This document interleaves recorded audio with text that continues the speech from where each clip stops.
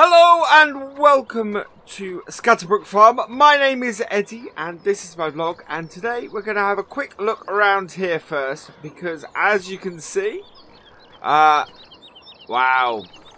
So this was uh, a silage pit that we weren't using on the farm. Uh, it's a perfect area for us to uh, to build our new barn. And uh, and yes, so the uh, the silage pit is down. There's lots and lots of debris here that they're still cleaning up. Um, they've done most of it. They brought this uh, this. I think this is an Eastern European trailer in. Looking at this, so I don't know where they picked that up, but um, yeah, they're uh, they're currently uh, filling this up. They're um, they've, they've popped off for lunch, I think. Uh, which is why I get to, to have a walk around here while they're popped out. But yeah, so uh, it's down. So soon, um, we're going to get the concrete laid around here. Uh, so concrete will get laid around here. And then we'll start getting the frame up for the new barn. Should fit in here rather nicely. Uh, the entrance to it, uh, I should say the entrance to it, it, is going to back onto this shed here. So this shed, which is where all of our uh, seeds and everything are stored, uh, this will be the back of the barn here, and uh, and barn should come up to. I think it's going to come up to about hereish, uh, if I remember correctly, uh, and it should uh, it should do brilliantly. Should be uh, absolutely great for us. But yeah, we need to get the they need to get this stuff cleared. Uh, and then the next set of equipment will come in, and we'll get the concrete laid and the frame up, and and yeah, hopefully by the end of the summer, uh, by the time we get into the potatoes, uh, this will all be up and ready and uh, and and ready for us to store our um, our tractors and stuff in. So uh, yeah, I'm I'm really excited. Good progress on the barn. Uh, so I want to give you guys an update of that. Um, our job for today, though, uh, is with the Fiat here. I I understand from a few comments in the description uh, or in the in the in the um, comments in the description. See, I don't know. BF handles all of the stuff on the channel, and I I I don't know these terms. Comments in the comments section, uh, I should say. Uh, say that I called this uh, this beautiful piece of equipment a Fendt last time, so I can only apologise to you guys for that. Um, I misspoke. I complete slip of the tongue. I have no idea why I called my absolutely beautiful Fiat here, a Fendt, but uh, I will try and avoid doing that today. Uh, we are going to get our pigs sorted. They've been a bit mucky, so we're going to clean up their feeding area. They need pretty much everything today, so uh, we're going to get the forks on after that, and then we've got the, the fronts to change and get a, uh, a bale in, a bale of straw in for them as well, and we need to go and hook up to the, uh, the water bowser over there as well. So, uh, let's get started. Starter up. Start up our, our Fiat. Get this cleaned.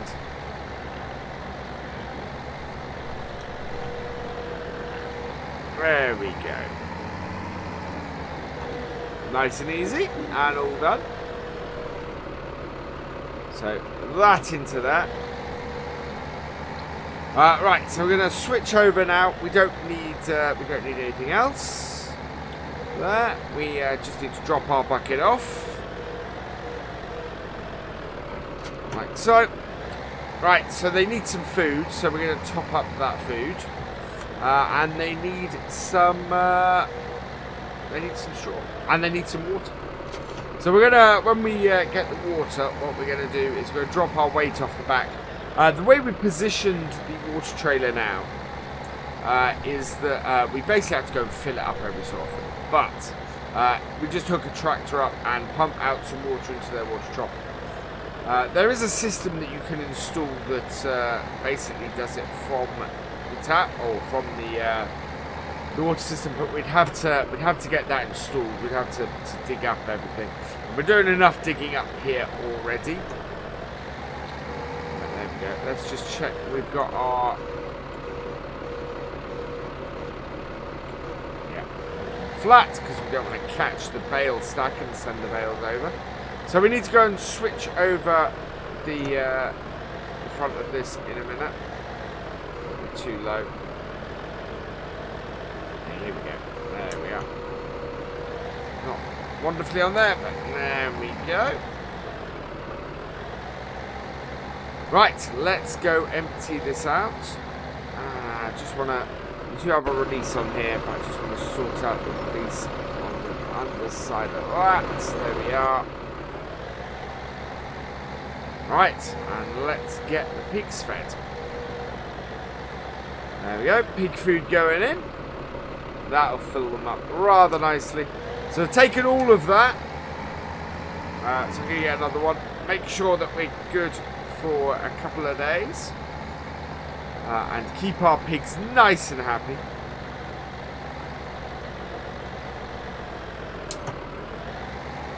It is quite tight in here. I'm considering um, building another bit. The fire damage, of course, we still have in here.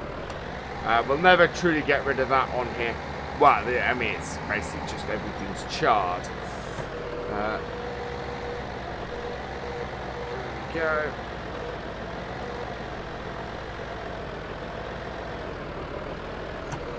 Are, and second one. I don't know if they will take all of this bag. We will go and uh, loosen the strings and everything. And there we go.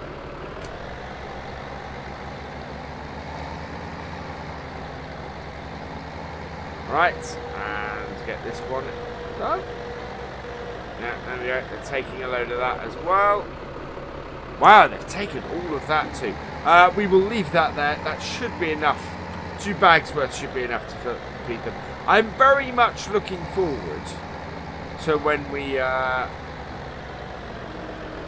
when we uh, get to feed them off the farm ourselves. Those pig bags cost us a lot of money. Um, and, uh, and hopefully soon we will just be able to feed them off the farm itself. Right, so I am going to put this put this just inside our barn here, as always. And uh, yeah, we'll get the uh, bale spikes on this here. Turn that off. Get our toolbox out. This bale spike is, oh, this uh, this legal setup is great, but uh, yeah, having to change over is is a bit of a chore. Right, I will get this changed over, and uh, and we'll be back in a moment. There we go. Bale spikes are in, so we will put the uh, back. So there's two. Uh, it's quite interesting. There's uh, there's a sort of a bale fork and bale spike. I find the triple bale spikes here uh, the easier ones to work with. So uh, that's why I use that one. Uh, we'll just hook them back up. So we'll put them on. There we go. Right, let's go get a bale and give it to our pigs. So we can just take, uh, we, we basically take the bales, uh, the bale up to the side and, uh, and then we pull it apart ourselves rather than uh, needing a blower or anything like that. Uh, again, we've got to get in here and get around this here.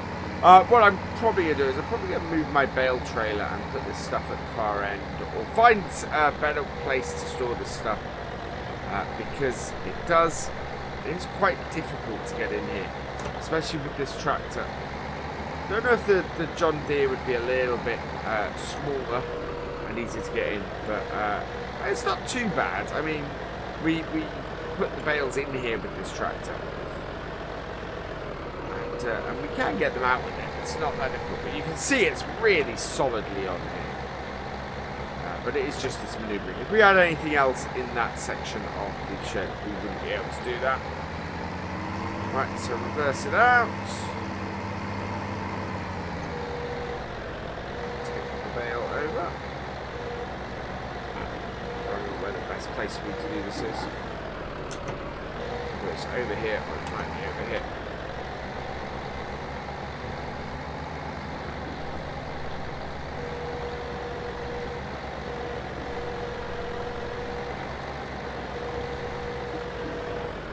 So we'll put that in there and uh, we'll pull that apart later. Let's uh, let's open this up, and I'll go in there and I'll pull this apart in a bit. Easier open. There we go. So in with this. I'll just plug it in the middle. Uh, they will start to try and eat it, but uh, I'll go in and pull that apart in a little bit, as I mentioned.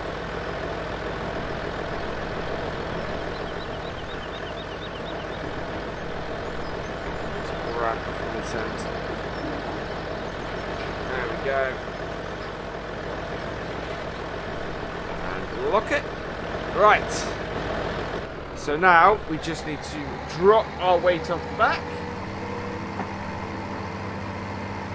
That. Well uh, that's actually almost it for us for today. Not a lot to do. Uh, summertime is one of those times where we're doing lots of spraying. And I'm very aware that in my blog, uh, vlog recently we've been doing a lot of spraying. But I want to keep you guys uh, up to date on what's happening with the uh, with the barn construction so uh, a lot of our summertime vlogs will be that uh, will be us uh, keeping up with the barn and uh, and what's going on. Pigs are not producing a huge amount of uh, slurry, as you can see. Not a huge problem because we're not. We, I, uh, as you guys know from, uh, from my series on Balling Crate, I prefer to. I prefer to put slurry on. oh, we're going to need to hook up. There we go. Right. So, there we go. And out. As you can see from the indicator, we have a good amount in here. Uh, and this will uh, this will fill them up for a bit. There we go. That's all turned off. So detach the PTO. There we go. And then detach the trailer and uh, go and put this away. Actually, we need to go and put the bale spike away first. So uh, that's it. It's, uh, yeah, fairly short vlog today, uh, so my apologies for that. But uh, in general, uh, we're doing well. We're making good progress. The builders are making good progress. we're likely in the near future to get some more work from our friends up at um, up at the farm on, on the hill, at the top of the hill. Uh, and uh, and yeah, so I will keep you guys up to date on that. It was very nice uh, a little while. Yeah, it was a little while ago now um, to get out and uh, and get behind a forage harvester down here. Uh, that was quite nice. Uh, but that's it for today, really. So I'm just going to park the tractor up. Not much work to do around here. Uh, I need to go and check on crops and field statuses and things. I have a little little bit of a rearrangement in uh, in the shed because uh, things were were kind of in the way a bit, and this has actually opened a lot up a lot more space.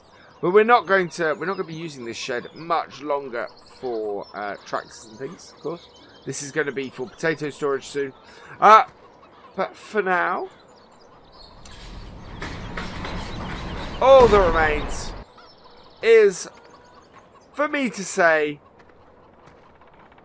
thank you for watching. I hope you have enjoyed this vlog. Please give it a like, drop us a comment and give it a share. And for all the latest videos from the farm, please subscribe to the channel and ring that bell. And I will see you next time. Goodbye.